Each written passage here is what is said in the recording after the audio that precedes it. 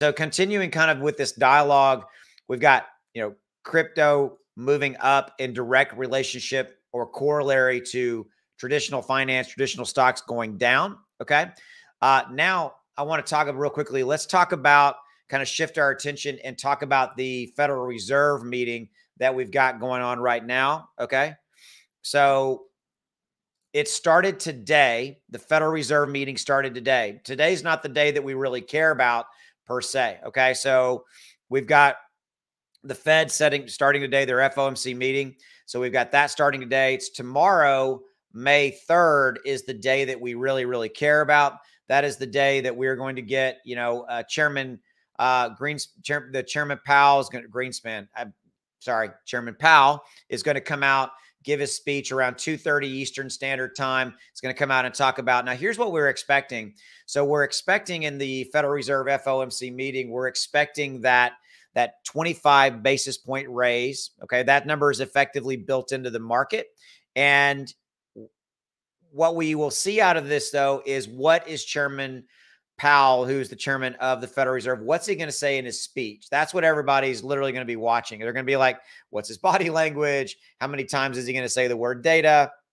How many times is he going to get asked them the, the same question over and over again? You know, all this kind of stuff. But that's what we're going to really be watching for is tomorrow in that speech is what is how's that going to play out? What's going to happen? What are we going to see there? Okay.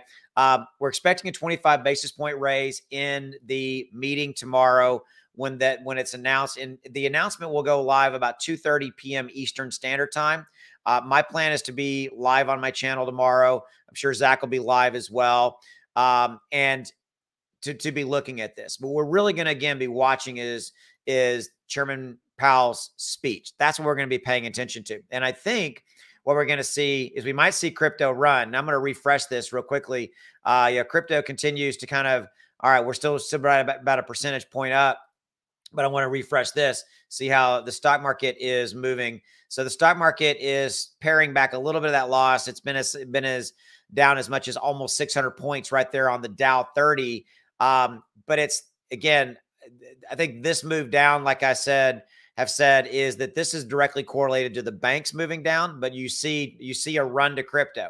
That's what you're seeing. We've been down in crypto for the last 24 to 36 hours. So you're seeing a run to crypto. That's what's really cool about this is people are now because of the banking failures, they're starting to come in, coming into crypto. Okay. So we are looking at a pretty interesting scenario playing out tomorrow, uh, May 3rd, depending upon when you're watching this, you know, watching this, we'll see how that plays out. We're going to be watching Chairman Greenspan. I keep saying that. You know, it's funny. I keep thinking that Chairman Powell. There you go. I'm gonna have to write. That. I'm gonna have to tattoo that on my arm uh, to see what he says. Now, they if they do raise the interest rate 25 basis point, which is the consensus, then that what's interesting about that is that's going to basically take us into the um, the five percent range, kind of what the overall uh, what the rate is, and that takes us back to almost 2004 and 2005 levels. So stay tuned for that. We're going to be taking a look at that as that as that situation plays out tomorrow.